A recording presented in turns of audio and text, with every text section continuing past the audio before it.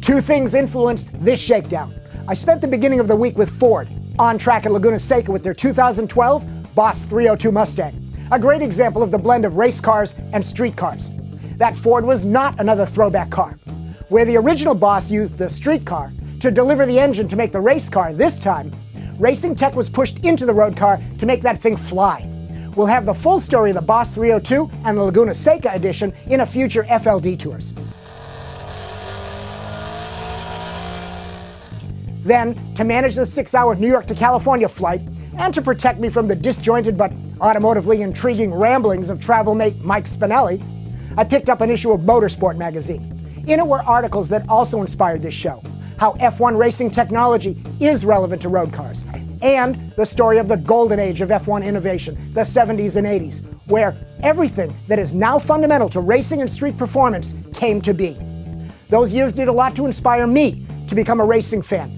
So, with credit to Motorsport Mag, I thought I'd share the info with you and see if it perks up your passion.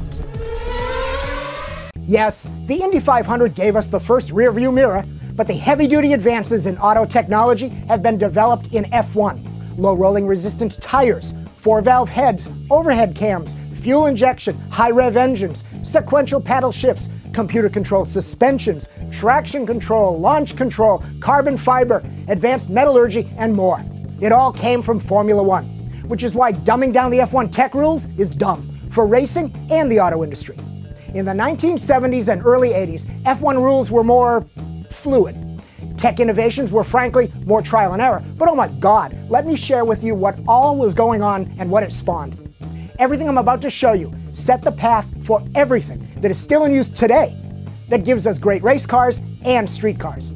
The February 2011 Motorsport Mag article went in chronological order, taking us from 1970 and the torsion bar suspended, aero wedged Lotus 72 to 1982 Brabham BT52 with its computer controlled BMW Turbo 4. But here, let's cover the innovation high points in technology order. Two major advances are paying big dividends right now in engine design. In 1977, Renault started the turbo revolution. Yes, I told you in an earlier shakedown about the 1971 Porsche Can-Am 917, but it was F1 that made breakthroughs in throttle response and efficiency. Then in 1981 and in 1982, Bosch Motronic brought electronic engine management to the party with the Brabham BMW Turbo 4. Now we had control to create power and efficiency and to protect engine longevity. Motronic made that little four cylinder work and not the rumored engineers pissing on used BMW engine blocks to acid harden the metal for the 1300 horsepower loads. Car weight also came under scrutiny during the 70s and 80s. The first ever carbon tub of the 1980 McLaren reduced weight, but equally big gains came from weight position management.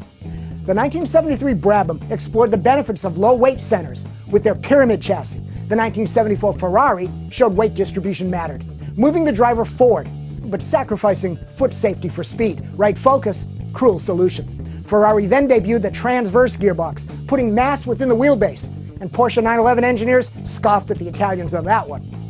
Tire tech had three profound leaps 1971 racing slicks, which forced better development of rain tire technology, and in 1978, Michelin did its radial tire thing. Most of what we know about aerodynamics came from the F170s and 80s drag and downforce were defined and controlled. 1970 and 71 Marches showed up with wing-shaped side pods. The 1973 Shadow was an early leader in using the wind tunnel. The McLarens at the time weren't, still designed only by hand and educated guess. The 1974 BT44 Brabham launched skirts to reduce the air under the car. Then Lotus took us into ground effects with their 1977 wing cars. But Lotus engineer Peter Wright maybe started his work even earlier when he was at BRM, as evidenced by this 1968 tunnel model.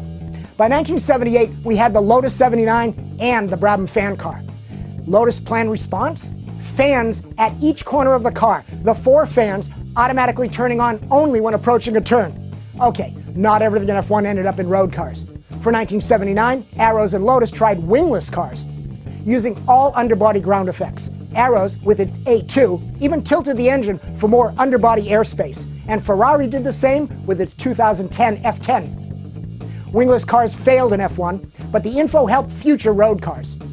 F1 advances in handling changed the game forever.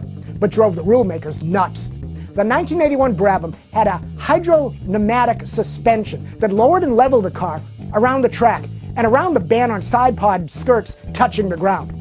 Next were the electronically controlled active suspensions of the late 80s and then into the early 90s via Lotus and Williams. Banned from F1 in 1993, but the knowledge was out of the box and into the road cars. An F1 contribution not to be understated is computers. 1974, Goodyear black boxes for handling analysis. Truthfully, it was first tried in 1966 with Ford GT. In 1975, back in F1, computer designed suspension geometries. 1978, Tyrrell with onboard data logging. 1980, Tyrrell again with its 010, the first computer designed F1 car.